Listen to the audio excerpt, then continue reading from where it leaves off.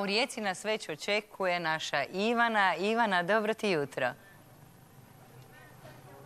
Dobro jutro iz Rijeke, koja se evo lagano budi, baš lagano, kao što sam rekla, vjerovatno svi znaju kako je zadnji radni dan ovoga tjedna, pa se nikome ne žuri. E, mirna je noć iza nas, prometne gužve još nisu krenule, to što se prometa tiče, ako neko odluči krenuti put naše regije, put Istre ovoga vikenda, evo čisto informacija, do 22 sata na večer pa do 6 ujutro promet usporedno teče kroz tunel Učka zbog radova.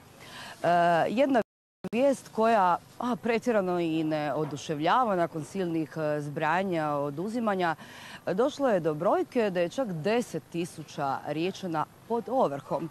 Oni e, zajedno duguju negdje oko 680 tisuća kuna, što bi bilo čak 82% e, gradskog proračuna.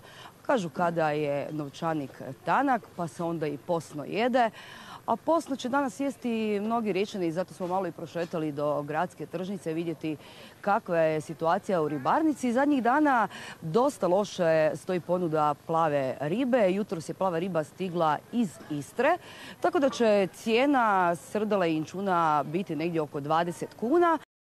E, do, naravno, ni skupih primjeraka škampi, čak 260 kuna za kilogram. Možda je dobra ideja, recimo za ručak napraviti i fritaju sa šparogama. Evo, ja ću pokazati jedan ovaj macić, košta 15 kuna. Znači, jedan lagani i jeftini ručak. A ovo naše e, prvo javljanje završit ćemo sa jednom najavom. Sutra se naime obilježava Međunarodni dan e, planetarija.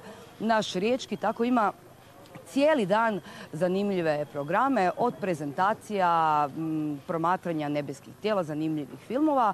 Dobrodošli su svi, popularna cijena ulaznice je 10 kuna, pa curke, obzirom da sam čula da ste vas dvije sutra slobodne, slobodno dođete u Riječki planetari. Pa može i onda nas odmah odvedeš na fritaju sa šparogama, recimo za ručak, da to sve riješimo i svi ćemo biti sretni. I zadovoljni. Ivana, hvala ti lijepa. Dogovoreno. Odmah hitamo Ivani u rijeku.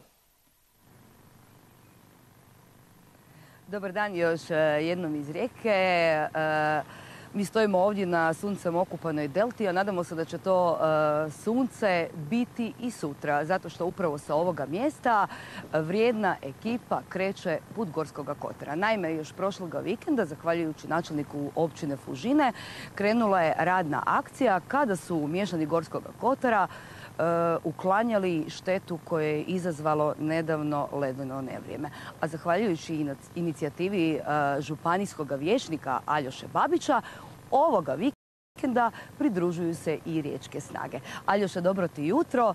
Otkud zapravo e, ideja, znači i da riječani krenu?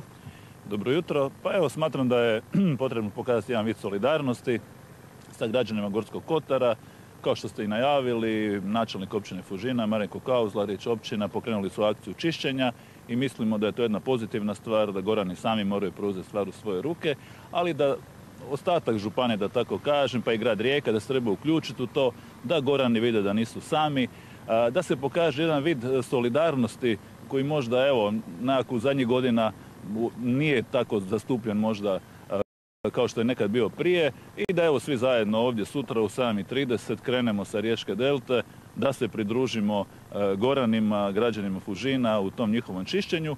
Pa evo koristim ovu priliku da pozovem e, i možda e, pripadnike sportskih klubova, udruga građana, umirovljenike, mlade ljude, da svi zajedno evo provedemo jedno lijepo subotnje jutro u Fužinama, pomognemo građanima Gorskog Kotara, a nakon toga jedan evo topli obrad, da kažem jedna maneštrica, da provedem jedno lijepo subotnje jutro u Gorskom Kotaru. Tek zapravo sada kada je okopnio snijeg, e, štete se zbrajaju i zbrojeni su, kažu štete 180 milijuna kuna, e, brojka koja je zaista teško e, i zamisliti.